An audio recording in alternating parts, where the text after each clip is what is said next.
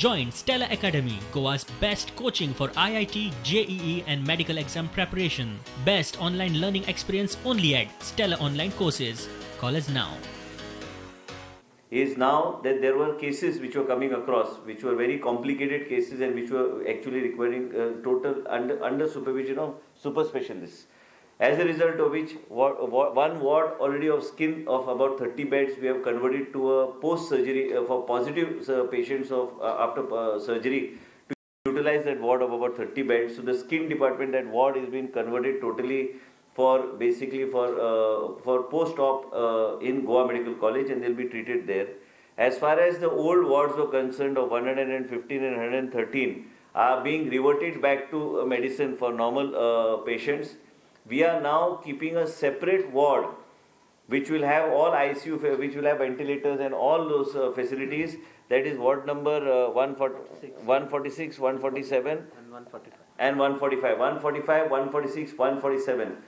All the critical, critical, extremely critical patients that are there will not be shifted from Goa Medical College to the ESI hospital, but will be given treatment under the supervision as the dean has come forward to say that this will be better handled as far as Goa Medical College is concerned.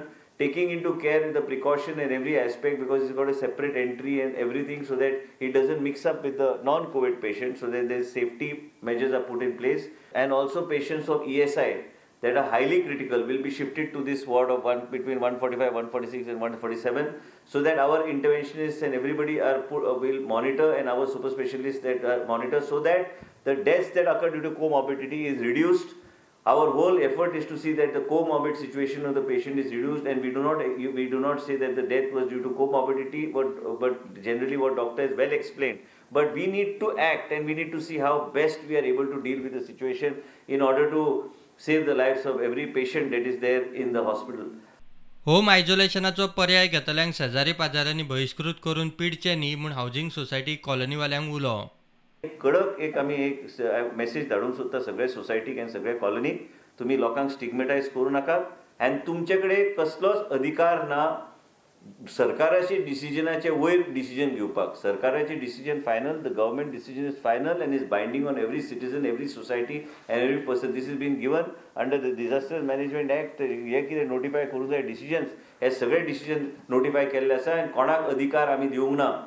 इतले मजगती दोन दिसां फाटीं corona positive म्हूण कळिल्ल्या आयुष मंत्री श्रीपाद भाऊक हॉस्पिटलांत admit करचो पडलो.